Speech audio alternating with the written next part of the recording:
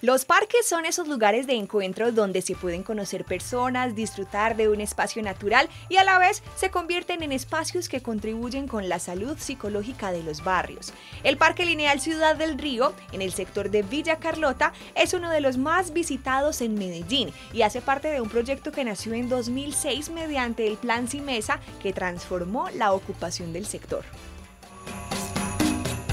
Este tipo de espacios son fundamentales porque son el lugar natural de encuentro digamos, de la ciudadanía, pero también tienen una capa muy importante y es digamos, ser soporte de biodiversidad urbana. O sea, las ciudades, estos parques, digamos, además de tener la función social del encuentro, también tienen la función de ser digamos, espacios saludables que van conectando digamos, eh, áreas como entre parques, las quebradas, con el área silvestre de la ciudad.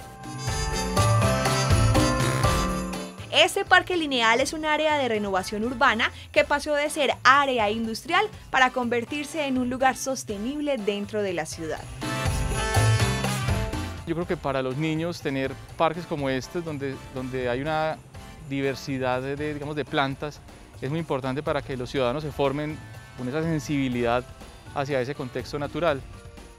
Un pulmón verde que permite ir creciendo a su vez en espacio público para el disfrute de todos. Este parque le aporta al, barrio Villa Carlota, es un lugar de encuentro, un lugar digamos, social para que las personas eh, generen lazos de, amistad, de intercambios o personas de otros, barrios que vienen aquí también, porque desafortunadamente esta ciudad pues, está en construcción de mejorar su oferta de espacio público y este es uno de los, de los parques más grandes que tenemos en el sector. El Valle de Aburrá es un territorio con mucha biodiversidad y el Parque Lineal Ciudad del Río, en el barrio Villa Carlota, es uno de ellos.